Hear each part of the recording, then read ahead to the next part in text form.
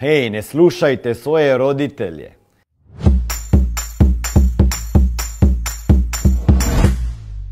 Znam da je kontroverzno.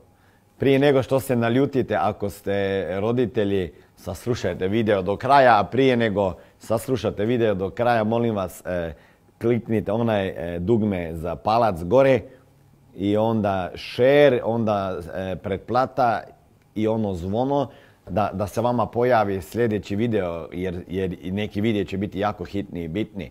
I šerajte među svoje prijatelje na vaše socijalne mreže, molim vas, i pomagajte mi širiti te pozitivne informacije. Ok, ajmo, ajmo sad pogledati zašto ne slušati svoje roditelje.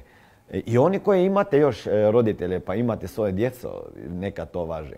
Da li ste ikad primijetili da ako roditeljima ispričate neku novu ideju, oni će pronaći samo negativne stvari.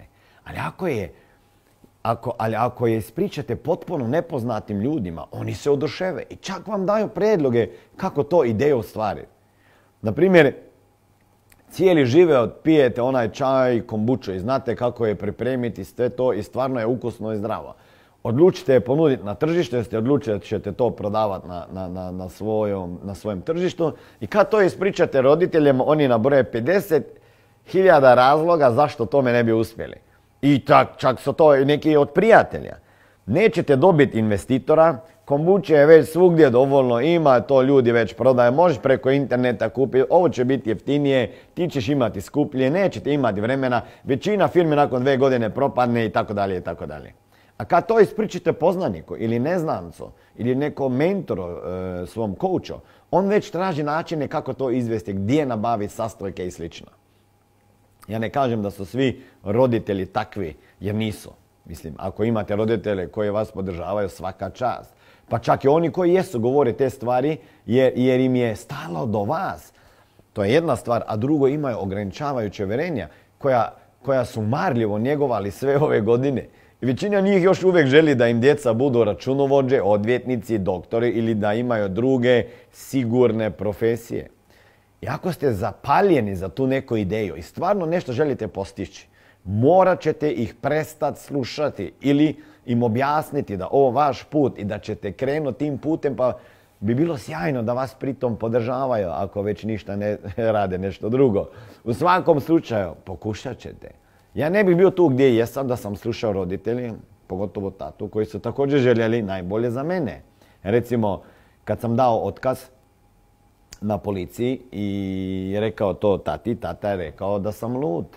Kad sam onda počeo raditi na sudu, tata je rekao pa da, da zar ti nije dosta bilo policije, za, zašto još tamo i još niža plaća. Onda kad sam prestao raditi na sudu pa počeo prodavati osiguranje financije, tata je poludio i doslovno me izbacio iz kuće.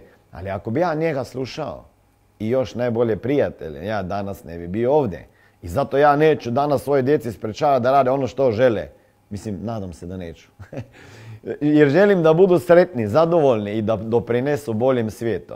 Okay? Jer, jer ako, ako je čovjek nezadovoljan i ostvaruje, ostvaruje želje i ciljeve svojih roditelja, prijatelja i okoline, taj čovjek nikad nije sretan. Roditelji, opet vas molim, pustite im njihove snove i neka ih ostvare ako hoće.